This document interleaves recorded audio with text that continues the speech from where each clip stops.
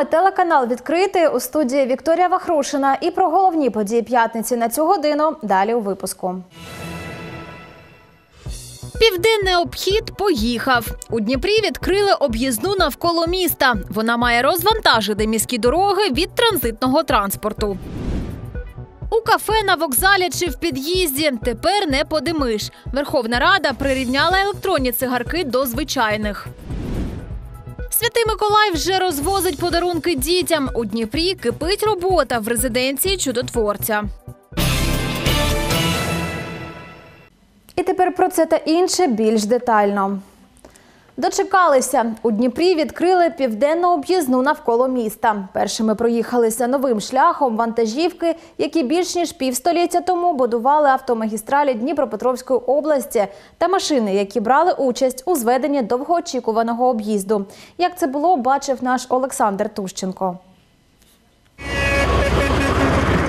Сучасне та минуле зустрілися на південній об'їзній. Полуторка, ЗИС та інші раритетні авто, яким по 60-80 років, та сучасні вантажівки першими проїхали новою дорогою. По паспорту максимальна скорость 70 км в час. Та максимальну швидкість пан Семен, який приїхав на авто із Запорізького моторетромузею, не вижимав. Вік полуторки 80 років, та й зізнається, не поспішав, бо хотів відчути дорогу. Когда эти машины выпускались, таких дорог не было просто, во- просто не было таких дорог. Сегодня это, это магистраль.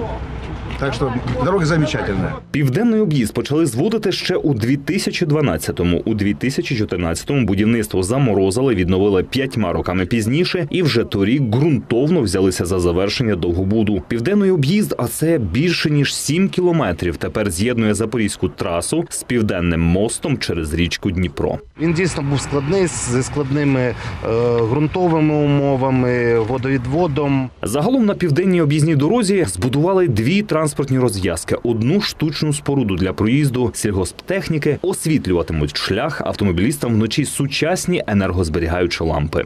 Транспортний потік очікується на цій ділянці, очікується 20 тисяч автівок на добу. А У нас є е, три небезпечні ділянки, які сьогодні вже освітлені. Це саме ця транспортна розв'язка вулиця Мільмана і е, примикання до дороги Н-08, до державної дороги. Ці ділянки вже освітлені, е, готові для руху. 20 тисяч транзитних автівок тепер матимуть змогу об'їжджати Дніпро. Для міста це менше заторів та краща екологія. Дійсно, е, ми дуже раді, що трохи розвантажимо місто від транзитного транспорту, а це дасть зручності як перевізникам. Так і містянам громадському транспорту це збереже дороги обласного центру. Він стане більш безпечний на дорозі. А тим, хто проїжджав повз е, місто Дніпро транзитом, сьогодні в них з'явилася нова якісна об'їзна дорога. Аби вона залишалася такою ж якісною, якомога довше в області встановлюють пункти зважування автівок у русі. Маємо один. Наступного року їх буде чотири. Обіцяють у службі автомобільних доріг. Це загальнонаціональна програма збереження шляхів. Вже змонтовано е, в нас е, 102 майданчики Wait in Motion, зважування в русі. Е, Це дійсно захист е, наших доріг. І плануємо ще в наступному році е, 50 е, майданчиків е, зважування в русі е, змонтувати. На об'їзній сім шарів дорожнього покриття. Між ними на окремих ділянках проклали геомембрану. Вона захищатиме автошлях від потрапляння ґрунтових вод та сприятиме водовідведенню під час опадів. І вже сьогодні південною об'їзною поїхали перші автівки. Незважаючи на сніг, який порошив зранку, дорога чиста. І такою буде взимку. Обіцяють у підрядній організації, яка тепер обслуговуватиме нову магістраль. Олександр Тущенко, Сергій Макаров, Open News, телеканал відкритий. Плюс 355 захворілих коронавірусом на Дніпропетровщині. 38 людей померли від ускладнень. На жаль, регіон продовжує лідирувати за кількістю смертей серед інших регіонів. Водночас подолали ковід 433 пацієнта. Загалом в Україні за попередню добу лабораторно підтвердили майже 9 тисяч нових випадків корони. Серед заражених і 98 медпрацівників. Ушпиталили понад 2 тисячі українців. Платіть або репутації гаплик. Служба безпеки України викрила на Дніпропетровщині активістів, які під прикриттям боротьби з корупцією вимагали гроші в бізнесменів. Відкупні становили від 3 до 5 тисяч доларів. Якщо підприємці відмовлялись платити данину, активісти завдавали їхньому бізнесу репутаційної шкоди. За інформацією СБУ, злочинну схему організував керівник однієї з громадських організацій. Правоохоронці затримали його на гарячому, коли зловмиснику передавали 70 тисяч гривень за невтручання в паливний бізнес одного з місцевих підприємців. В офісі організації квартирі борця з корупцією та його автівці поліція вилучила мобілки, носії з доказами протиправної діяльності, документацію та чорнову бухгалтерію. Наразі активісту оголосили про підозру. Триває слідство. Зловмисник ретельно перевіряв наявність у державних реєстрах та базах даних дозвільних документів, а у разі невідповідності звертався до поліції із заявою. Згодом активіст ініціював особисту зустріч із бізнесменом та пропонував вирішити це питання. Далі, в ультимативній формі, він озвучував суму відкупу. У середньому вона становила від 3 до 5 тисяч доларів США. Для тих, хто відмовлявся, активісти застосовували увесь арсенал громадського впливу. Блокували діяльність підприємства, запрошували журналістів на показові акції, подаючи це як боротьбу із порушеннями законодавства бізнесменами. Курці більше не димитимуть. Верховна Рада прийняла законопроєкт, який прирівняв електронні цигарки та інші табачні пристрої до звичайних сигарет. А відтак у кафе, ресторанах, вокзалах та інших людних місцях затягуватися електронними цигарками зась. Окрім цього, табу й на рекламу є пристроїв. А людям до 21 року заборонено продавати ароматизовані сигарети і рідину. Закон набере чинності через півтора року від дня його публікації.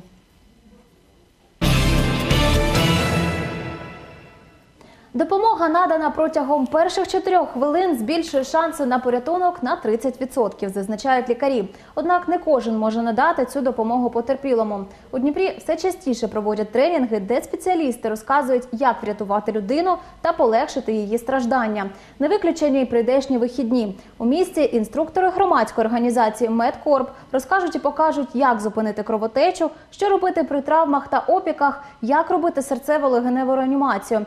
Про актуальність таких навичок сьогодні поговоримо з інструктором та керівником громадської організації Медкорп Олексієм Турчаком. Вітаю вас, Олексію, у студії відкритого. Тож для початку розкажіть нашим глядачам, чим займається ваша організація. Медкорп це волонтерська громадська організація, тобто всі наші члени це волонтери. Вони займаються своєю діяльністю в вільний від основної роботи час. І ми займаємось. У нас два основних види напрямки діяльності, можна сказати. Це безпосередньо проведення тренінгів з надання першої домедичної допомоги і супровід масових заходів у нас в місті. Тобто це день міста, інші гуляння, ось, наприклад, новорічні свята. А Ми патрулюємо місто. Якщо комусь стає зле, ми намагаємось надати допомогу до приїзду швидкої. Ну ми е, спочатку ми створили організацію, коли повернулись е, з зони операції об'єднаних сил. Тобто, ми е, майже всі члени нашої організації це бойові медики. Ми створили громадську організацію, і почали займатися, пройшли сертифікацію, почали займатися тим, що проводимо тренінги. І е, це приблизно з кінця 2017 року ми почали проводити тренінги. І за цей час в нашому місті, тільки в Дніпрі, через нас пройшло вже більше 10 тисяч людей. Тобто ми вже більше 10 тисяч е, навчили, і це абсолютно різні організації. Тренінг, який ви плануєте, розкажіть про нього. Е, Яка програма і на кого вона розрахована? Власне? Цей тренінг, який пройде е, цими вихідними, це тренінг за міжнародним протоколом BLS – Basic Life Support, базова підтримка життя. Цей тренінг розрахований майже на всіх. Єдине таке обмеження це вікове обмеження, тобто від 16 років, тому що дітям бажано таку інформацію не слухати. Це єдине майже обмеження, і можуть на цей тренінг прийти абсолютно всі. Під час цього тренінгу ми розглядаємо, по-перше, як діяти на місці пригоди. Тобто, в першу чергу, це власна безпека, як себе поводити. Потім розглядаємо доволі такий великий блок: це зупинка кровотеч. Потім йде втрата свідомості, як розпізнати, що людина втратила свідомість, що робити, якщо людина втратила свідомість. Потім серцево-легенева реанімація з використанням автоматичного зовнішнього дефібрилятора. А також е, розглядаємо, ну як правильно визвати швидку допомогу і невідкладні стани. Це інфаркти, інсульти, напади судом, е, перекриття дихальних шляхів, алергічні реакції, опіки і тому подібні речі. Тобто розглядаємо майже всі питання, які е, цікавлять людей. Які вправи зазвичай найскладніше даються на тренінгах? Для інструктора, мабуть, найскладніша частина це кровотечі, а для людей це саме серцево-легнева реанімація, тому що не завжди вистачає сили. Але багато хто намагається, і потім з подання інструкторів все виходить правильно. Розглядаємо теоретичну частину, і потім одразу вклинюємо практичні заняття, тобто практика зупинки кровотечі. Плюс е, ми практику не просто там один раз наклали джгут і все, і зупинились на цьому. Один на одному наші учасники тренінгу накладають жгути в різних ситуаціях, до- додаємо якісь стрес-фактори. Тобто можемо навіть е, для того, щоб людина відчула себе у стресовій, е, стресовому стані, там кинути якусь ну, муляж відірваної кінцівки, наприклад. У нас таке навіть є. Тобто людина має е, розуміти, що для чого вона це робить, і що вона, якщо вона тут стик- стикається з цими стресовими факторами, то вона у реальних подіях вже не буде на них зважати. Чи безкоштовне навчання? Як записатися на ці курси? Так, наші відкриті тренінги безкоштовні. Ми проводимо їх е, вільний від роботи час. Зазвичай це в нас приблизно 1-2 тренінги на місяць. Ми розміщуємо оголошення про наші тренінги в наших соцмережах, тобто це Facebook, Instagram та Telegram. А якщо ми там розміщуємо оголошення, там є Google форма для запису. Можна перейти за посиланням, записатися і приходити на тренінг в назначений час та місце. Чи кожен може оволодіти навичками надання першої домедичної допомоги, та чи достатньо для цього одного заняття? А, Можуть навчитися абсолютно всі. Тут немає ніяких е, ніякої медичної науки, не треба медичних медичної освіти для того, щоб е, вміти надавати першу домедичну допомогу. Але е, я вважаю, що одного тренінгу недостатньо, тому що це все ж таки великий об'єм інформації, і людина не завжди все запам'ятовує. У нас є підказка, як можна згадати. Тобто, ми створили в тому самому телеграмі бот, який допомагає людям е, згадати все, що ми пройшли на тренінгах. Дякую за цікаву бесіду. А я нагадую, гостем прямого ефіру новин сьогодні був інструктор та керівник громадської організації Медкорп Олексій Турчак. Говорили про тренінг надання домедичної допомоги, що пройде вже цими вихідними.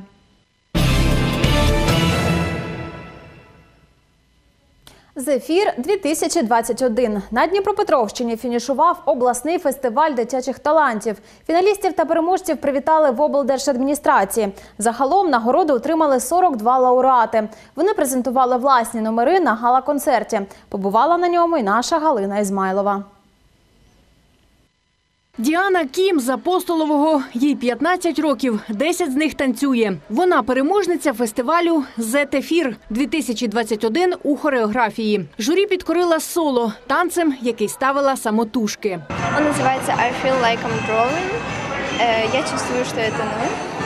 Но в этом танце я пыталась передать, что э, можно идти дальше, даже когда ты уже у тебя упадок сил и ты уже не можешь просто идти куда-то, но ты можешь все равно подняться, встать с колен и развиваться. А Оксана Пасько вийшла у фінал завдяки співам. Вона вихованка верхньодніпровського ансамблю народної пісні. Тримай мене міцно одною рукою, так сильно і ніжно вбивай мене. Дуже класно, коли є така можливість десь показувати свою роботу, роботу дітей, які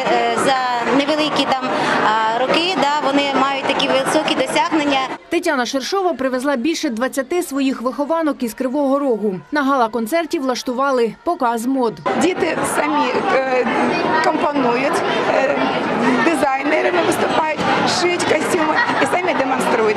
Е, ми пройшли перші три тури, два тури, вийшли в фінал і привезли, якщо це Дніпропетровщина, наша батьківщина мала, ми привезли колекцію барви Петриківки.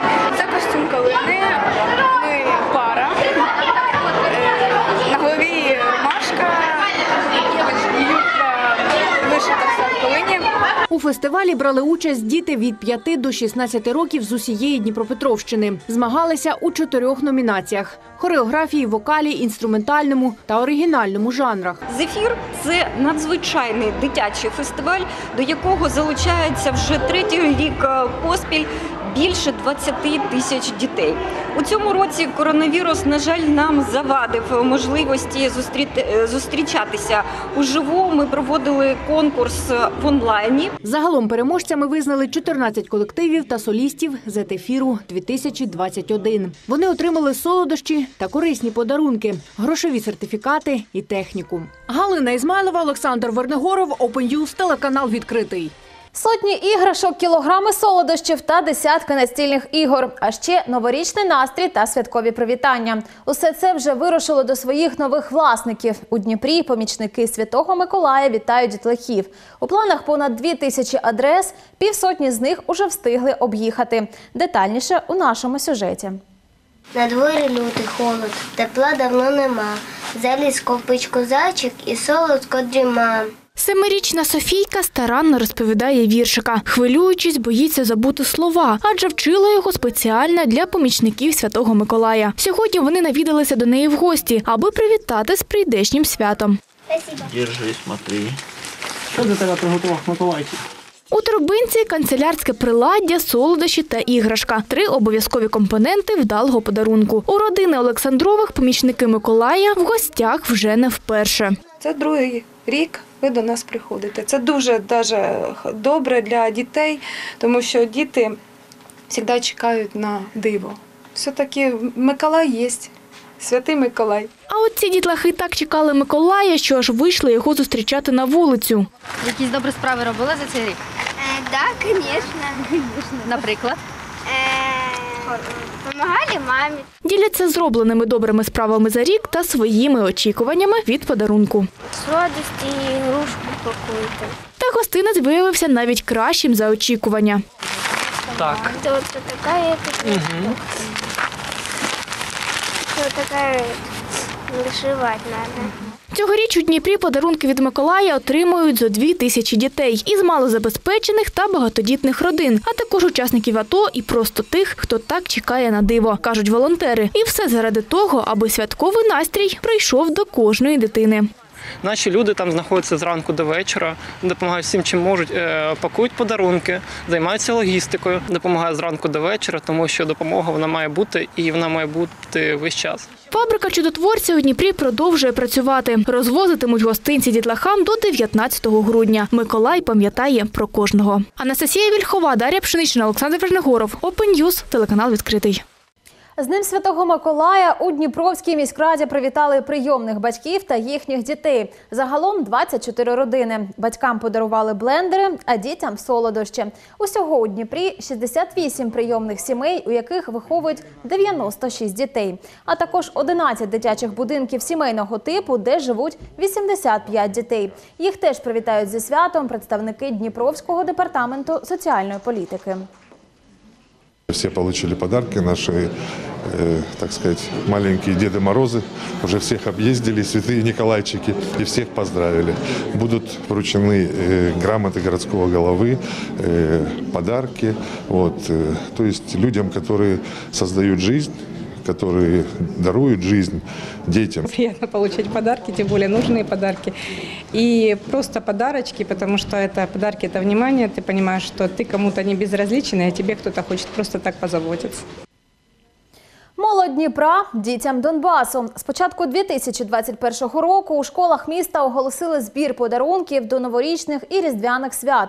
Адресати малеча, яка проживає в зоні проведення бойових дій. Обмежень жодних. Принцип хто скільки зможе, головне від душі. Гостинці кажуть представники молодіжної ради Дніпра. Це не головне. Мета, аби діти Донбасу відчували підтримку однолітків. Днями волонтери вирушать на схід і зібрані дніпровськими школярами передадуть дитячим будинкам сімейного типу.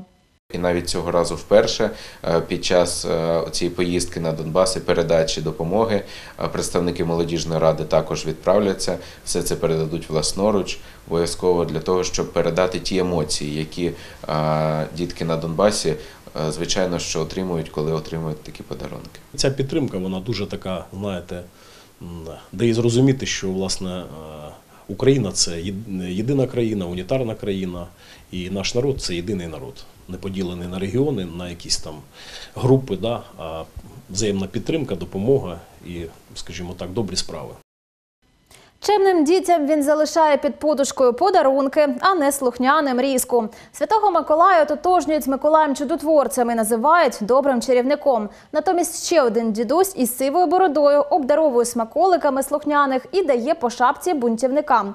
Це вже про Діда Мороза. Тож яка різниця між двома ніби дуже схожими казковими персонажами? Дивіться далі. На терени сучасної України традиція святкувати Нового року 1 січня прийшла лише у 1700 році із Західної Європи. Та споконвік відлік прийдешнього року починався 1 березня. Проте тоді особливих святкувань цього дня не було. Навіть до початку ХХ століття у фольклорі українців не було якогось новорічного персонажу. Тоді домінувало Різдво зі своїми символами. Різдво домінувало і воно передувало саме Новому року, тобто всі свята йшли від Різдва, а не навпаки. Як зараз, то ці е, дати 30-ті роки вони е, дійсно стали символами радянського пантеону Нового року. Ну але м, відбулося це не тільки завдяки не було якихось постанов там партії, а саме тому, що Новий рік витіснив Різдво само по собі секулярне мислення, радянське, антирелігійне, і новий рік потребував власних символів, і його зробили Діда Мороза. Однак задовго до появи радянського Діда Мороза у 19 столітті з'явився в Україні образ святого Миколая. Прийняли його із заходу. Там святий Миколай приходив до дітей на різдво і таємно залишав подарунки. Проте добродія у нас підкоректували, і гостинцями він пригощав тільки тих, хто їх заслужив. Образ вот этого доброго дедушки рождественского, который приходил к детям в связи с отменой Рождества, был утерян где-то с 25 года, и только начиная с 36 года появляется такой персонаж, как э, Дед Мороз. Радянський Дід Мороз це ніяк не новостворений персонаж. У слов'янській міфології ще кілька століть тому був злий бог холоду, мороз або студенець чи тріскунець. Пізніше, у 19 столітті, поряд зі святим Миколаєм формується образ вже доброго Діда Мороза, який дарує гостинці. Через 100 років в СРСР його образ оновили. Він став всемогучим, а на радянських плакатах навіть схожим на вождя. Психологи одностайні. Це все робилося, аби в дитячій свідомості вкорінився образ покірної людини. Слухаєш старшого, отримаєш подарунок. Однак навіть через стільки років образ радянського Діда Мороза залишається більш впізнаваним. За Деда Мороза, наверное. Больше подарков дарит. Да. А Святой Николай, он, ну, конфеты и все. Для мене, для мого покоління, це е, Дід Мороз. Е, теперішнім діткам Святий Миколай, бо у мене от внук він чекає Святого Миколая, подарунки, все таке. Ну, для мене Дід Мороз. Просто тоді е, не святкували Святого Миколая, і всі ці е, церковні релігійні свята вони не були в такій шані, як це зараз. Дед Мороз. Ну, это новоречная атмосфера. Вот, и ну, какое-то волшебство. Зараз історики та священнослужителі переконані, що Дід Мороз і Святий Миколай персонажі різні. Їх не варто протиставляти чи замінювати. Проте Діда Мороза пропонують все таки українізувати. Цей символ його просто треба дещо е, убрати цей радянський лоск. З нього може якийсь е, йому надати новий костюм. Взагалі, е, якщо 20 століття замінило повністю релігію секулярним мисленням, то зараз ми на цих вагах терезів все урівноважуємо і світське, і церковне. Святкового настрою вам бажають Лада Донець, Сергій Макаров та Роман Івашинов. Open News, телеканал відкритий. Екстремальна ялинка у Дніпрі. 25 грудня місцеві дайвери встановлять святкове дерево на дні затопленого кар'єру в селищі Новомиколаївка. Зелену красуню занурять на 30-метрову глибину. Це як 10-поверховий будинок. Робота триватиме майже при нульовій температурі води. Після того, як дайвери закріплять ялинку, прикрасять її іграшками та іншими новорічними атрибутами. На дні кар'єру вона красуватиметься до 14 січня. Такої традиції дніпровські дайвери дотримуються вже 17-й рік поспіль. У дайверов Новый год начинается как раз с момента, когда они поставят елку под воду. В этом году, наверное, она будет без гирлянды у нас, потому что мы до сих пор гирлянду не смонтировали, и, наверное, как я и сказал, мы упростим момент погружения елки, чтобы не ставить ее с каким-то количеством электричества под воду. А, Мы ее просто красиво поставим, она будет сверкать в каких-то естественных абсолютно игрушках, без какой-то дополнительной электрической запитки. Це інформація на цю годину. Вся команда відкритого вітає вас з прийдешнім днем Святого Миколая. Щастя, тепла і затишку вам та вашим родинам. А більше новин на нашому сайті opentv.media. Сюжети переглядайте на Ютуб каналі. А якщо маєте цікаву новину, телефонуйте на гарячу лінію 068 123 48 54. Залишайтесь відкритим, і нехай щастя буде там, де ви.